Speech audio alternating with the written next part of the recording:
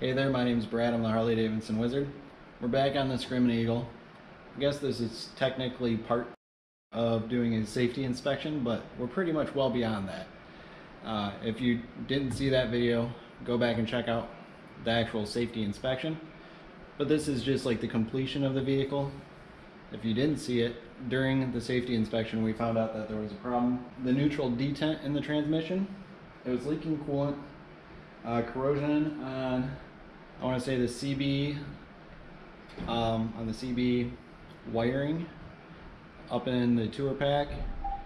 And I forget, it was a week or so ago, so we'll go back over all of that as we're doing it. But while I was doing that video and we found out that the coolant temperature sensor was leaking, I, I had remembered that there was a technical service bulletin out. And I, I couldn't remember exactly what years it was and exactly even what it said, but I went back and double checked it. And it was saying, it was talking about if you had a 2014 or 15 model and it was leaking coolant from that temp sensor to tighten it down to 16 foot pounds. And essentially that some of the temp sensors were installed too loose. So that kind of brings us up to what we're going to be talking about next, but let's take a look at the parts that we have. Oh, that's right. We also found out that the front brake light switch wasn't working. That's part of the switch pack here. It's this it's this little guy here on the back. That's a front brake light switch. But you have to buy the whole switch pack to get it. This is a special switch pack for a Screaming Eagle because the, the buttons behind it light up so you can see them at night. So originally, we had seen where it was leaking coolant past here, and I was thinking about putting some thread sealant on it. And if you're looking for thread sealant, this is some bad ass shit. This is the best stuff out there. This Loctite 545. I always use this on airlines when we're doing like air ride on vehicles, but so I went back and I wanted to take a look at the tech tip and make sure I wasn't missing something and because I really rather not be like re-engineering stuff and you know ghetto rigging stuff if I don't need to. So this is the original temp sensor, and I don't know if you can see, but there's just like the the smallest little shiny copper area where it was like actually sealing up on the bottom of the radiator. And this is the new the new one and it looks exactly identical. And it does have a copper crush washer on it so that's supposed to be sealing stuff. So I am not going to be putting the Loctite on it because realistically the copper washer is supposed to be doing the job so we're going to torque it down the way that it says and go from there. But for the rest of the stuff for the transmission uh, some of the stuff I just kind of do like it's always a good idea to do a new arm to have the best possible fit on the splines. So this is the new shifter mechanism assembly. As you can tell, the, the springs are installed correctly. So that's good. New gasket, new screw for the arm. Uh, these two pieces go on the shifter mechanism, a seal, and a new bushing. And a new seal for the back of the primary and we're going to be using that Jim's tool to reinstall this so that you don't have to remove the whole gear set. So that's kind of nice. And then we have the new antenna assembly that goes up from the fairing all the way back to the bike. And then from this part goes up in the tour pack and then this comes out in front of the tour pack and plugs into here. And then these two pieces as well. And then the rest of the stuff to put the primary back together. So that's basically it. I'm going to get started on doing the coolant temp sensor, put that in, and then just getting the rest of the back, the front and the back of the lower fairing together. It's a little bit easier without the shifter lever and all that, that stuff right here, so we're going to do that part first.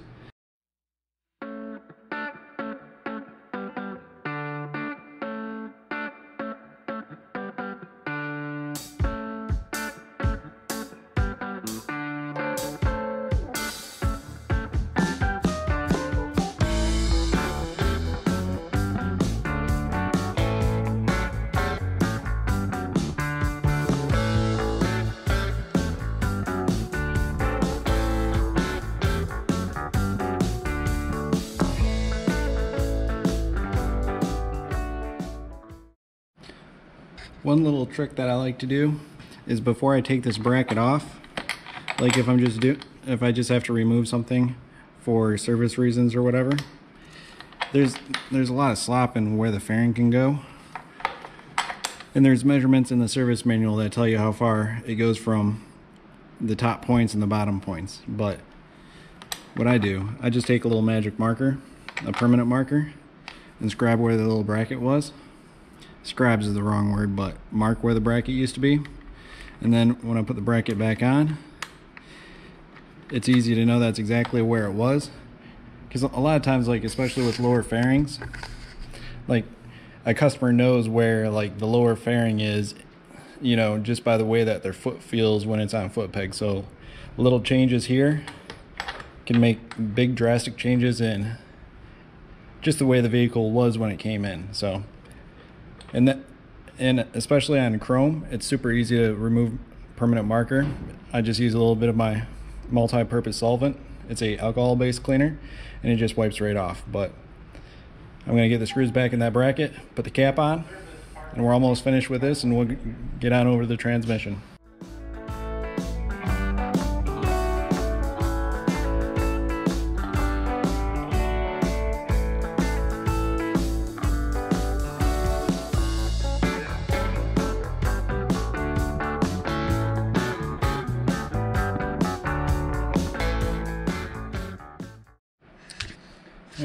You didn't see it before, here is the tool that we use to remove the shifter shaft sleeve and also the shifter mechanism. This is the new one, but this is the three-piece tool. So, this is from Jim's. It's part number 5517. So, it should go back together basically in the same way that it came apart, just in reverse. I haven't read the directions yet, so we're going to be doing it both at the same time. But let's get the shifter mechanism back in, and then we should be driving the sleeve in from the outside. And let's get going. So here's the shifter, the new shifter mechanism. It had us pull back that top spring before, and then the whole assembly should slide in there. Let me get in there. Oh, I remember. I think it did. I think it had to come out like that and then rotate up. Let's try that.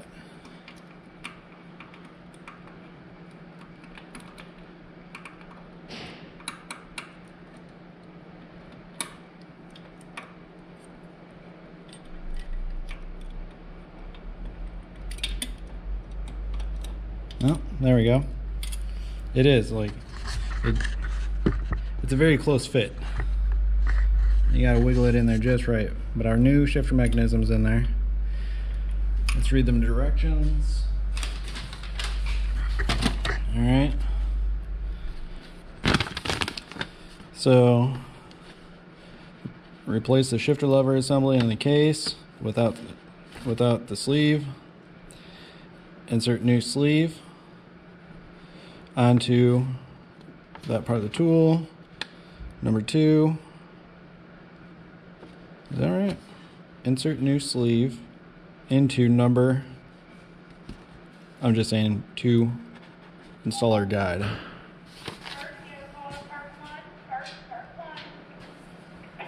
All right, so here's that number two. Said, oh, so it does. It fits right inside. Oh, there's a little bit of a lip. Like, it's such a little lip, I couldn't even really see it in real life. It's so slides in like that. That's pretty dope. Then insert into transmission case using the driver. It's that big dog. Tap until it bottoms out on the number two installer guide. All right. So that makes sense. Like this part must be indexed off of that bore. And then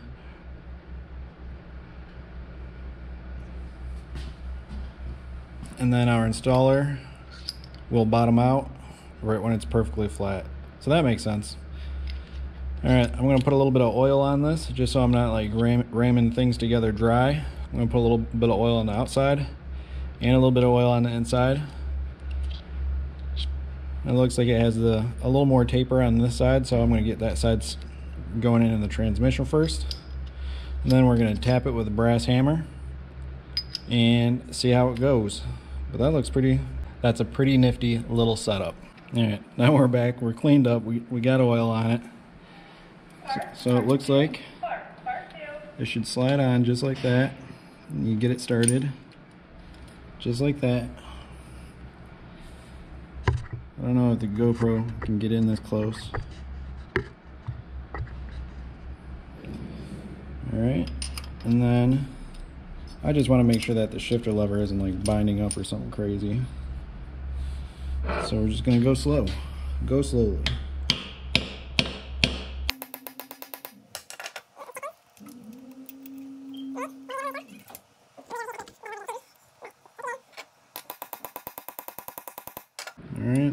Sure everything everything's still nice and free. That's good.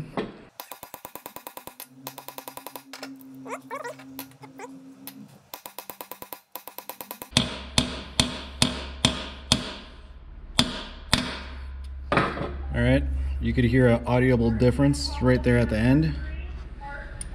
All right, that is looking mighty sweet right there. All right, let's get our spot cleaned up and we'll put the rest of this together and then push the seal in. I don't know how much of a view is gonna pop up, but our metal bushing is perfectly placed the aluminum bore is completely not gouged. It looks beautiful. That is excellent. So we're to go back up here and then put our spring back up here where it's supposed to be. Just like that.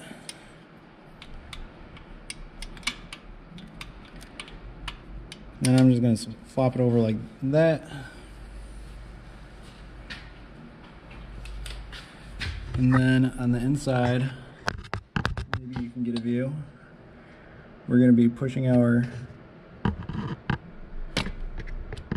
neutral detent screw right in between those two springs.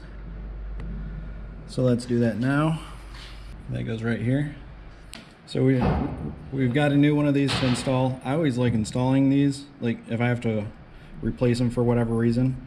I like to install new ones because it has this really good lock patch on it. And that keeps oil from leaking out of there, but you could reuse it if you had to. So we're gonna go in slowly. And I'm gonna feel, I'm gonna push this shifter assembly backwards a little bit. Actually, I'm going to undo that spring again. Give me a little more room. Because it's tight quarters in there. But I can reach through the back of it and feel the center of the spring. And that's where the, the pin is going to go. It's going to go in between those two tabs that are sitting up. So I'm just going in slowly. We're the wrong side of it.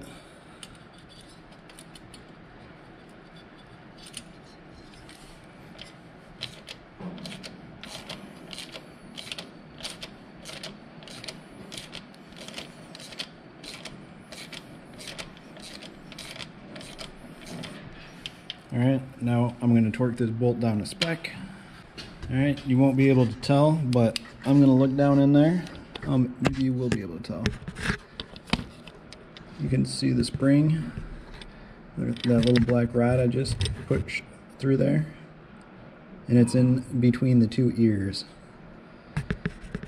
So that's installed correctly. Everything's looking good there. Now we're gonna get this guy back the way he's supposed to be.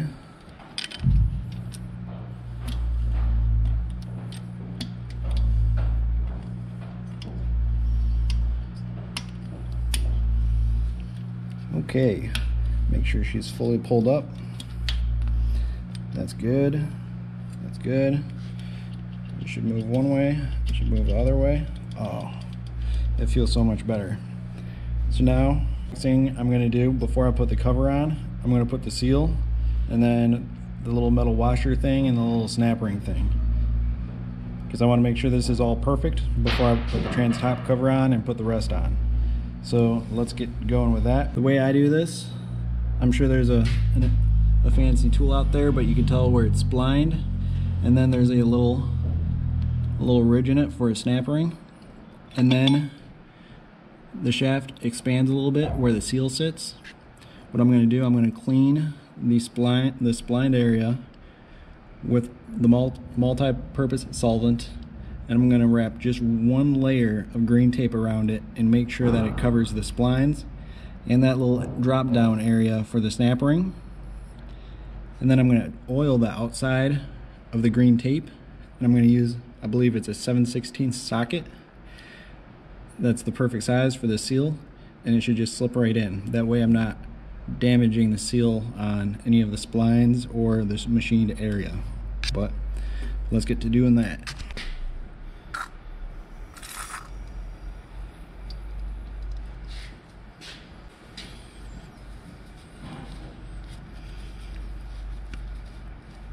I clean it so that the tape sticks pretty well.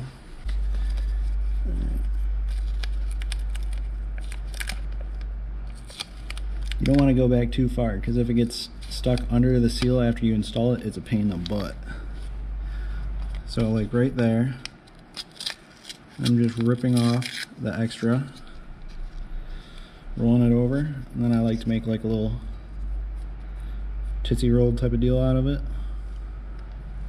Alright, I said 7 16ths earlier, I was incorrect, it's half inch. But with my socket, it has just a narrow enough ridge where it sits just right on the outside perimeter of the seal. And it doesn't touch the inner dust lip. The seal already has like grease on it. I'm sure for installation purposes, but we're gonna shoot a little bit of oil on there. Just like that. and then I coat the tape with it then I slide it over the tape and then I get it started just by hand. And then it usually just you get it lined up just right. And then it usually just can it sit right in there.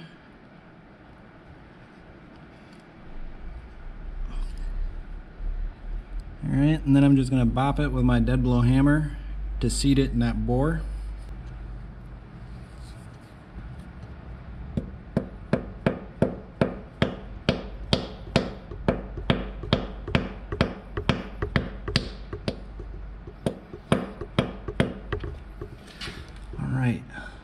Looking pretty good. You don't, you don't have to go crazy with it. Like it's just a little rubber seal. You just be careful. then you want to make sure that your shifter lever is all the way out. And then I get in there with my flashlight and I look, I'm like blowing the picture out, but I look super close and make sure that there isn't any evidence of like a rip or a little like rubber like sometimes like if something wrong happens not on the seal on like any type of seal you'll see like a little rubber piece that's kind of caught something sharp and peeled off. So I get in there and we look real close, but everything looks good. And then, depending on how well I put the tape on, and then now that that's all done, I just go back with my pick, try to find the edge that I started the tape on, right there. and undo it. And that thing is installed perfectly. So then the next step is to put the little metal washer up on top. It has like a stamp side where the edge is rolled over and then it has the other side where it's not as rolled over. I like to put the most flat side like up against there. I don't know. Makes me feel good. And then put our little snap ring thing in. You can assemble it all with like the snap ring not in the actual groove. So you got to be careful and conscious just that you're back there in the actual groove. When you are, it should kind of just like rotate like that pretty freely. So everything's looking good there. Nice and free. Now we're going to put the little lever on there, put the screw on it, and click it through the gears and make sure it's looking right. Alright, so the shifter levers always go with the bolt forward and never pointing up or backwards. It always points kind of like right at this front screw hole. That's important to remember because if you have it like too far forward, the primary won't fit right. And you can get it together on some models where like where it will fit all together and then it won't fully be able to shift. So just make note of where you took it off. We're using a new screw here. It already has Loctite on it.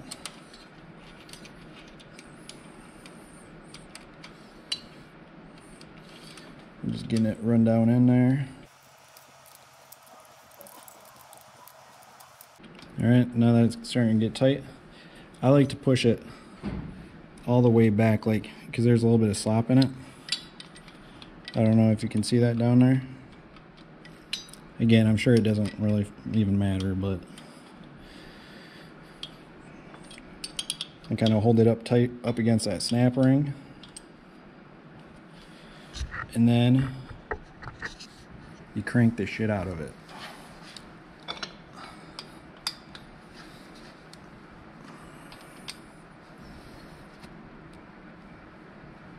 Oh yeah, just like that.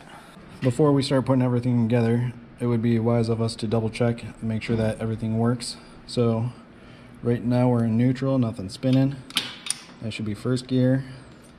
Then we'll click back halfway for neutral again. Then second gear, third gear, fourth, fifth, sixth gear.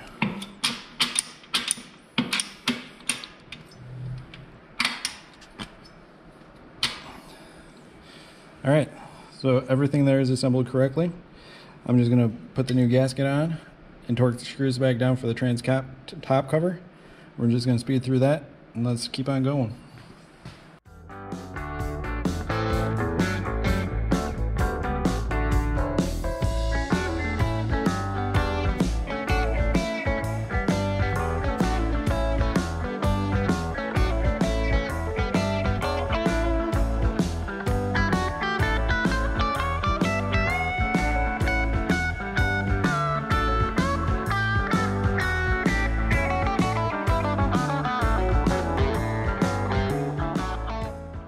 So we already have everything all buttoned up for the transmission.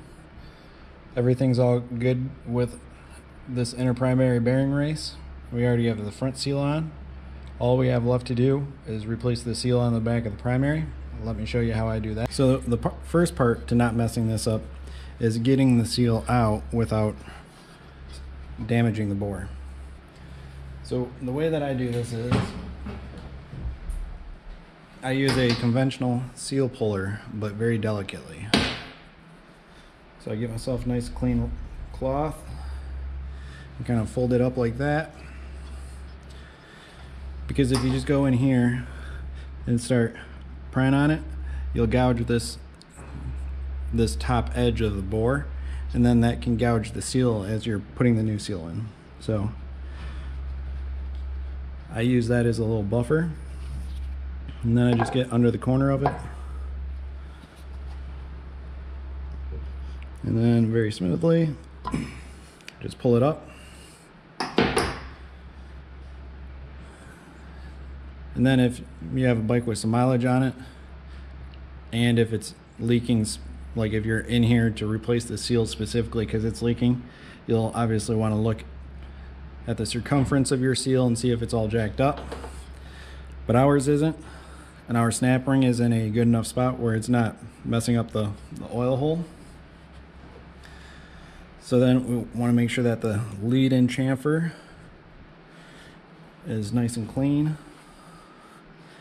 I don't know if you can tell, but there's like a little a chamfer here and that helps the new seal go in. I put the seal in, I've seen where people oil the seal and then you can push it in almost by hand. And in situations like that, I've seen that bike come later, come back later where the seal is like popped off and then the oil is running out. So I've always put the seal in dry. Some seals I lubricate when I put them, put them in, and then other seals I put them in dry. This is one of those pretty rare cases that the seal goes in dry, but you can tell it has little markings on it. On a Harley Davidson seal, it'll tell you the oil side. So you put it in there.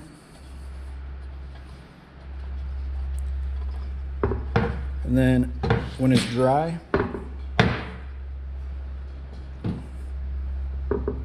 you can get it almost all the way in just by hand. And I'll just use a dead blow hammer to tap it in the rest of the way. When I do that, I put this in my lap so I'm not like beating the primary against the table or something. So I'm gonna do that.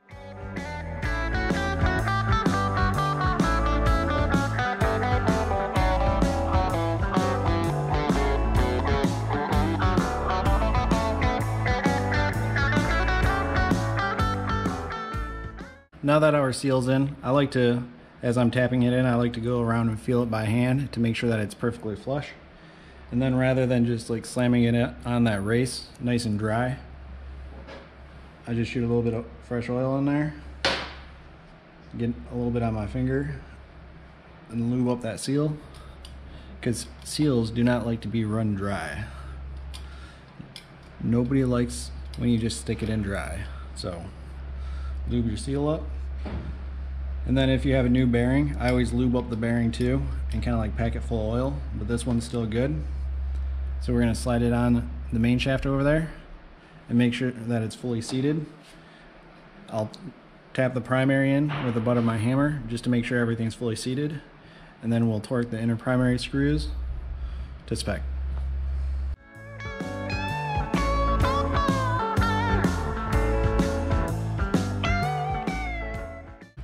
All right, so there's a series of dowel pins back here, and you also want to make sure at this point that your starter's free and loose. But there's a series of dowel pins back there that need to line up with the case, and the bearing kind of has to line up on the main shaft. So that's where I go in slowly and then tap it in. Well, just tap to confirm that everything's seated correctly.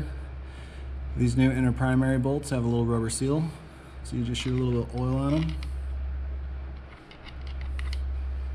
just a little bit, but that was more than needed. Get a little bit on that seal.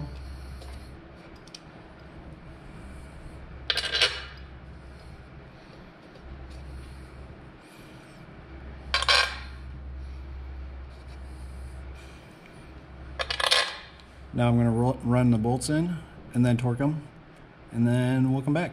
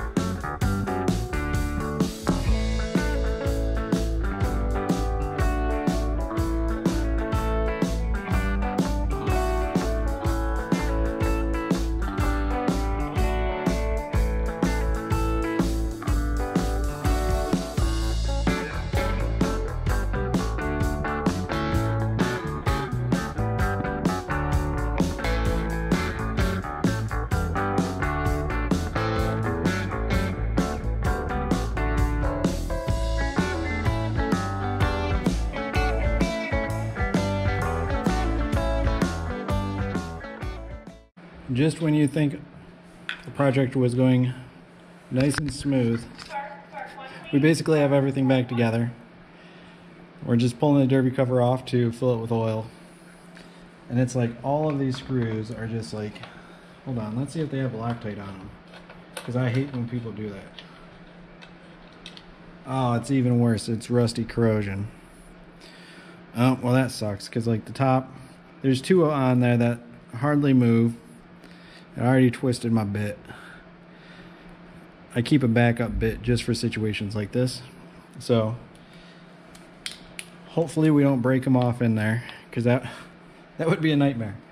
But this is a hammer driven impact. So I'm going to get another bit, toss it in here, and I'm going to tighten it just a little bit and then try to turn it back the other way and pull them back off. So let's give that a shot.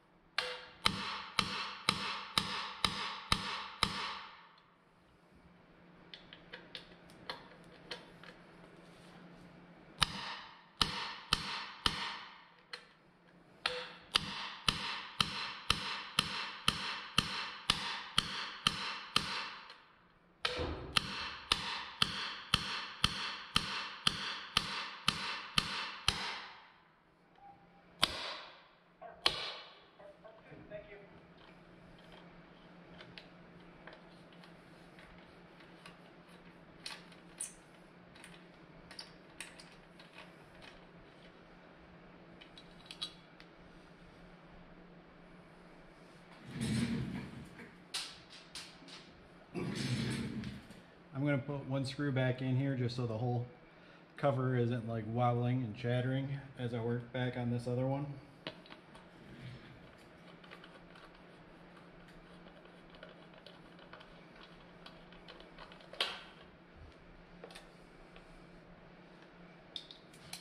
All right, here we go. Wish me luck.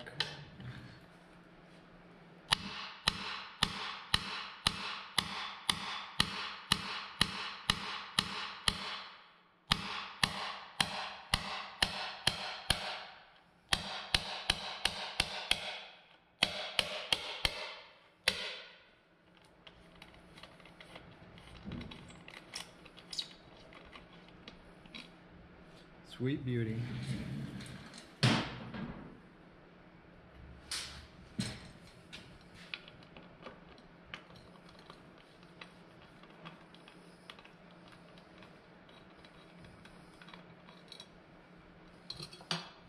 Ta-da. Well, that could have turned into a real nightmare if we would have broken one of those heads off. But all of these holes are all nasty with filled with rust, so I'm going to be getting five new screws and then cleaning these screws out with a thread chaser and uh, the multi-purpose solvent that we have to break up any of that loose crud. We're going to fill it with oil, get this new screws, get this thing, get this project going.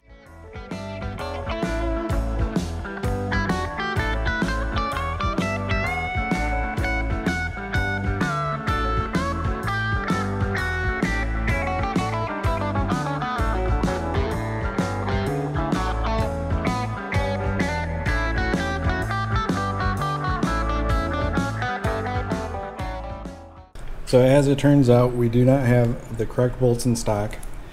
So I'm just going to be tossing five of these bad guys in here. That's just for the time being so it doesn't leak oil out everywhere. And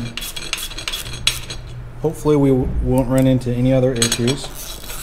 I'm just going to put these things in here loosely. I'm just going to toss the footboard on and keep on going.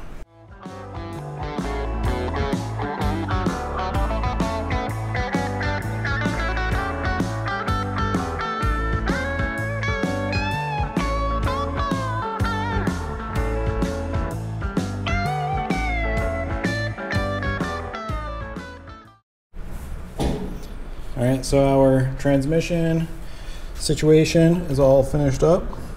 Look at how nice and tight this thing is. Oh yeah, that is the business. And nothing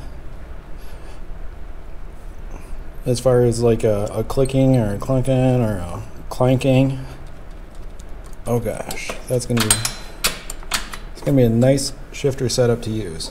Like that's the way that it's supposed to be, but it is especially nice right now. So the next part of the job is going to be putting on the uh, the right hand control module and the antenna assembly. Then antenna assembly is pretty easy as far as pulling the gas tank and the seat off and the outer fairing. And then we'll just unplug the antenna that's up there and we'll run the new one along with where the old one used to, used to go. And I'll cut out the old one where I can. Sometimes it's it's so bound into the original wiring harness that I just cut off the part that's not being used anymore so that it doesn't get confused with the correct antenna in future situations. But that part's pretty straightforward, so I'm not going to talk any while I do that, and it's pretty boring. So I'm just going to pop the gas tank, all that stuff off, and just do a quick run of the new antenna and fix up everything in the tour pack. And then we'll come back for bleeding the cooling system and maybe a test ride. So here we go.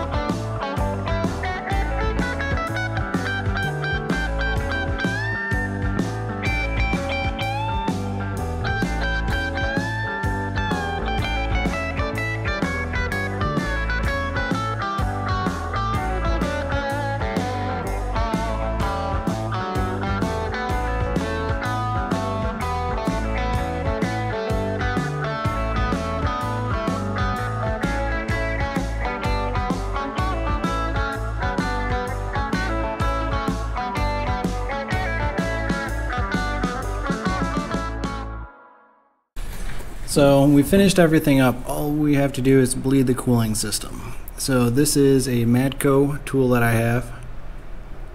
And it's for bleeding the cooling system. There's two different ways of doing this. You can use this, this type of tool and then a little bit of conventional bleeding or you can do a whole lot of conventional bleeding. But basically what you do is it consists of this unit right here. You hook shop air pressure up to this and then it makes a little Venturi setup. So it draws a it draws a vacuum on the system, and then it picks up fresh coolant through this tube. So this, I'm just going to submerge in, in a bottle of coolant. And then I'm just going to hold the tool up to the neck of the cooling system. Hook my air pressure up to it.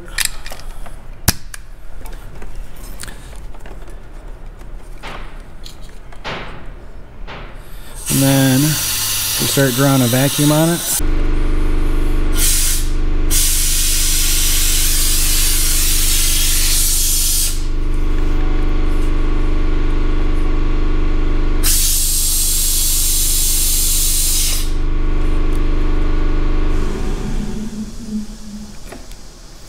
Like to draw a coolant up to right about here and then draw more of a vacuum on it. Oh man, we messed it up.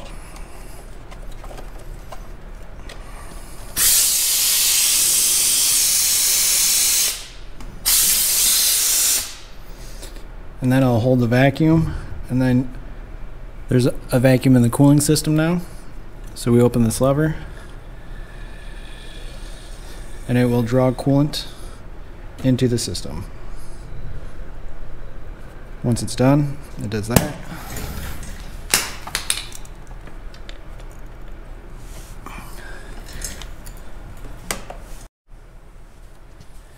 Now that it's mostly bled, I just use, I have just a little bit of coolant in here so this bottle isn't real heavy. And then you'll turn the ignition switch on with the throttle wide open. Turns the cooling fans on and the coolant pump. Just like that.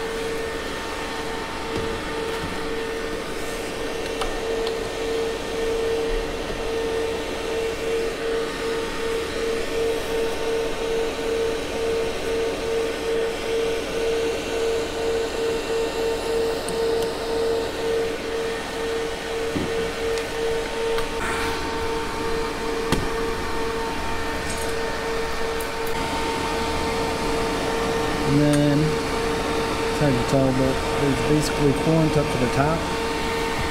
I'll just sit here for a little bit, let the coolant pump run, and I'll jiggle the motorcycle. I feel like that helps.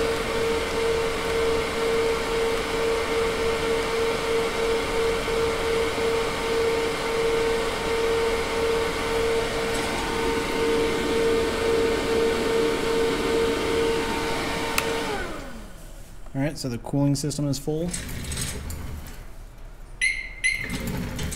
Put the cap on it. Uh, I'm going to fill the reservoir up to its normal level. And I test ride it and I make sure that the vehicle gets up to temperature.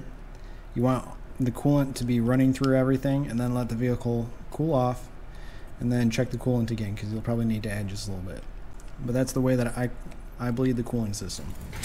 Alright, well that's it for this bike for today. We're going to wait till we get the new derby cover screws in, take it for a test ride, get it fully warm, check the cooling system, but I won't make a video for that because that's just boring.